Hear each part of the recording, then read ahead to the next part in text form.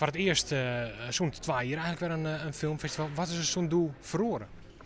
Uh, ja, er is in feite net heel volle verloren.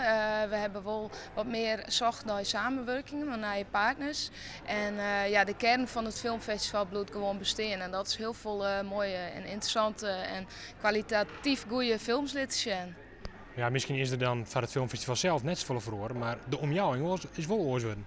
Ja, dat klopt. We hebben een nieuwe locatie natuurlijk erbij. We, we hadden het festival uh, traditioneel in de stad Schouwburg de Harmonie.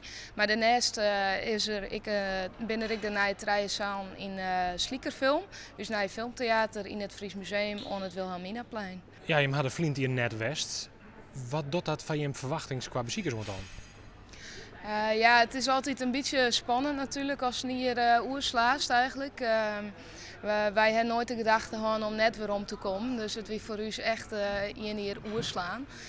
Um, ja, we hopen dat we weer dikke 20.000 bezoekers kunnen trekken. In 2011 hadden we 23.000. Als we dat kunnen evenaren, zou dat natuurlijk fantastisch zijn. Je bent net benauwd dat mensen, nou ja, al jekken binnen naar vriend hier. Ja, nou ja, we hopen net natuurlijk. Uh, het is altijd een beetje spannend, maar ja, je kent dat ik net uh,